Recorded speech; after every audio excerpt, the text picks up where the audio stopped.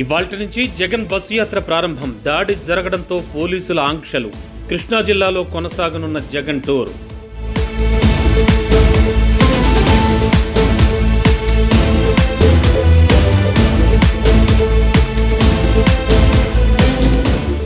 శ్రీకాకుళం జిల్లాలో చంద్రబాబు ప్రచారం. రాజ్యాంలో మధ్యాహ్నం బహిరంగ సభ. గాజువాకలో రాయి దాడిపై బాబు ఆగ్రహం.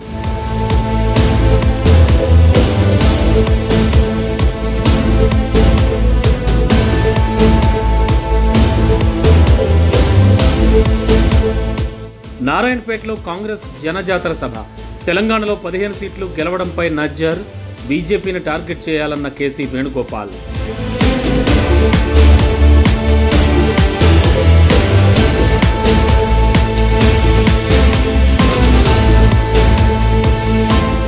రాజకీయాల్లోకి ఎంట్రీ ఇస్తోన్న హీరో విశాల్ రెండు వేల ఇరవై ఆరులో తమిళనాడు ఎన్నికల్లో పోటీ. ప్రజాసేవకు కొత్త పార్టీ పెడతానని ప్రకటన.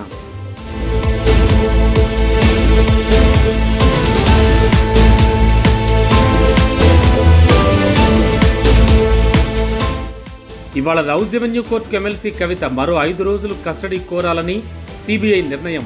ఫోన్ చాటింగ్స్ బెదిరింపులపై అధికారుల ప్రశ్నలు.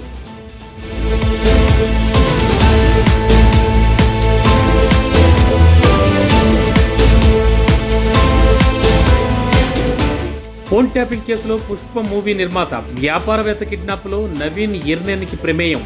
వేణుమాధవ్ను బెదిరించి క్రియా హెల్త్ కేర్ స్వాధీనం.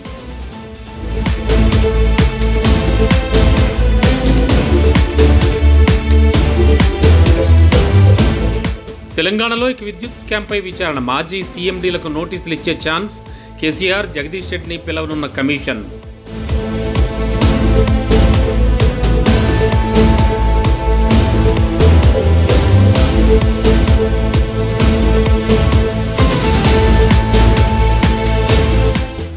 ఐపీఎల్లో ముంబైపై గెలిచిన చెన్నై జట్టు. వృధా అయిన రోహిత్ శర్మ సెంచరీ చెలరేగిన ఎంఎస్ ధోని ఫ్యాన్స్ ఖుషి.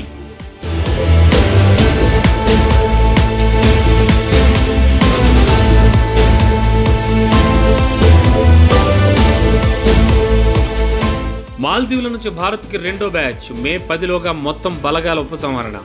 డోర్నియర్ విమానం పర్యవేక్షిస్తోన్న పౌర సిబ్బంది.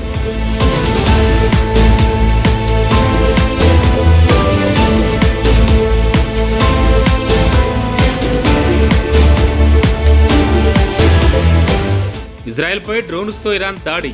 ఐరన్ డోమ్తో నేల కూలిన క్షిపణులు. కౌంటర్ అటాక్ చేయొద్దన్న అమెరికా.